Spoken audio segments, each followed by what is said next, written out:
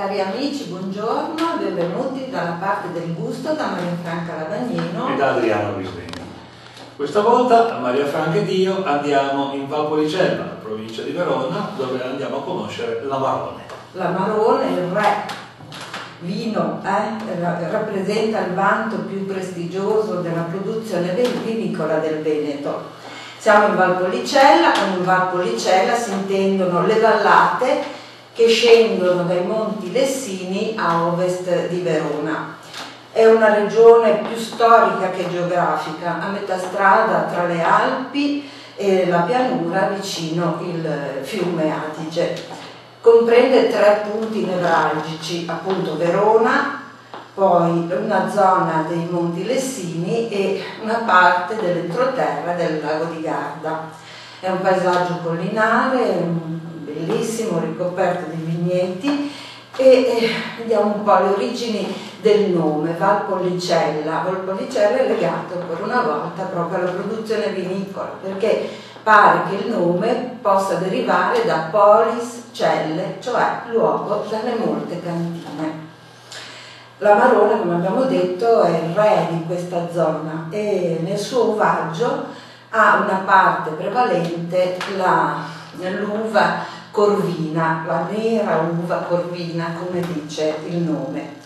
E il suo nome è proprio legato a una bella leggenda che racconta che quest'uva un tempo fosse bianca, ma durante un inverno particolarmente rigido eh, storm, stormi di cornacchie scesero sui campi innevati alla disperata ricerca di cibo. I contadini intimoriti da questi uccelli, così dal verso rocco, sgraziato, decisero di sterminarli e dalla strage però si salvò solo una cornacchia che venne trovata, raccolta da un contadino e curata. La cornacchia guarì e a primavera volò via, ma prima fece un volo sui vigneti del suo salvatore e da quel giorno i vigneti non produssero più uva bianca, ma diedero questa uva eh, nera, vigorosa, eh, ricca, da cui appunto si ricavò un vino di straordinaria qualità. Bene, adesso proprio per qualità dell'amarone ci parlerà Adriano. Ne parliamo. L'amarone in questione è, prodotto, eh, visto che è un mix di uve, è prodotto da un 65% di uva corvina, da un 30% di uva rondinella e da un 5% di uva morinale.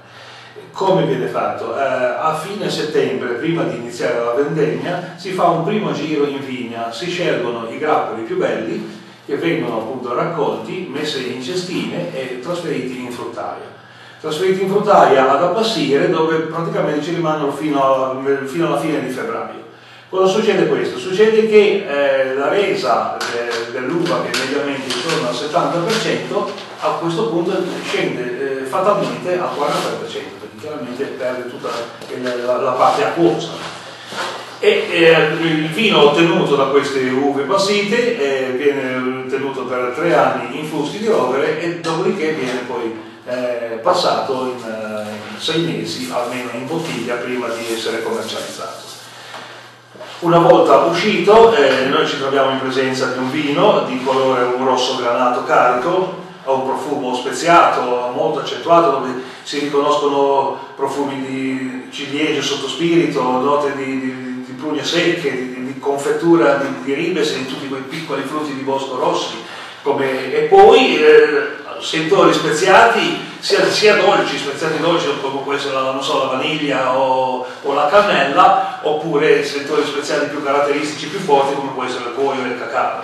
E tutti i sentori, tutte le sensazioni che poi ritroviamo in questo gusto favoloso, pieno, armonico, vellutato, estremamente robusto. È un vino che ha una gradazione minima di almeno 14 gradi, 14-15 gradi ultimamente tutto quanto. Abbinamenti gastronomici in gastronomia questo vino è tipico del abbinamento con i grandi arrosti di cacciagione da pelo, eh, cacciagione nobile da piuma per esempio, eh, sicuramente con eh, formaggi stagionati, addirittura c'è chi lo abbina addirittura al cioccolato fondente proprio per questa sua carica che ha. E tra l'altro il cioccolato è, è difficile da abbinare. Oltretutto, ah, certamente È un vino chiaramente che va servito dai 17-19 gradi come temperatura di servizio e se è un vino abbastanza eh, diciamo di vecchia annata sarebbe opportuno aprirlo almeno un paio d'ore prima e poi scaraffarlo perché quantomeno si riesce a degustarlo per tutto quanto se appunto ossigenandolo riusciamo a tirare fuori tutti i profumi.